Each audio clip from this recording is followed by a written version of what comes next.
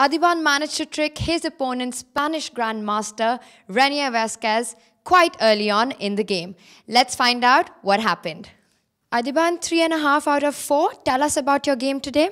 Yeah, it was a Sicilian Scheveningen. It was a hybrid of uh, many systems, and then uh, finally at some point uh, he went for this e5 move, which I was I think it was not accurate. He has to maybe wait.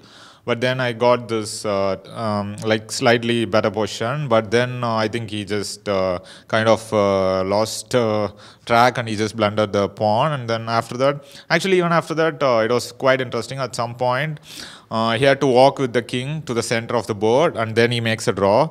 Uh, but he didn't see it. So without that, I think uh, uh, I think it was just when he played Bishop c5, yeah. He had to take the knight at some point. Yeah, the knight was hanging on e2, and then I go rook f8, and then the king comes to e6. Yeah, it was fun. I just thought, okay, if it is a draw that way, it will be at least entertaining. Yeah, so it's, it was, uh, yeah. So you always play for entertainment? Yeah, sure. now, he, you said he went wrong for the second time with bishop c5 because he also missed your little trick with bishop f7 earlier. Yeah, that's true. Like same square, yeah, twice. I didn't notice that. Nice point. Right. Now, uh, was it still a task to convert after you won the pawn on f7? You said he still had some uh, drawing chances? Yeah, yeah, yeah. Because uh, he has these two bishops, and uh, so I have to be quite careful to, uh, I mean, convert the pawn. But okay, then I tried this knight e2, which uh, worked well actually for this game, yeah.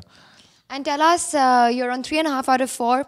Are you pleased with the score and the way you've been playing here? Yeah, so far, yeah. Just uh, the second game, actually, I had a really good chance, but okay, it was my trainer. So I'll try to pretend that I didn't want to win that game, even though I got a very good position. Yeah, I, apart from that, yeah, because I got a really good chance that game, and I was a little bit upset that. Uh, uh, but so far, after that, I won two games, so like uh, quite happy with how the tournament is going on.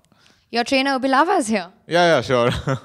Tell us a bit about the experience of uh, you worked with him several times, but yeah. playing him over the board. Yeah, I know that he is like, uh, if, I, if I can say, even maybe crazier than me when it comes to like, like uh, so I know how he plays. So I was expecting a full-fledged battle, and uh, yeah, it was a very interesting game. And yeah, working with him has been quite nice for some time. Yeah, because he has worked with all the uh, team of uh, Karpov first, and then uh, our own Anand, and uh, so yeah, it was nice uh, to play with him. But it's also tricky, you know, playing against your uh, own trainer who knows you extremely well. Yeah, but this was not the first time. Uh, so I'm okay, and also I play quite a variety of uh, openings, so I can always find some line which we have not worked together.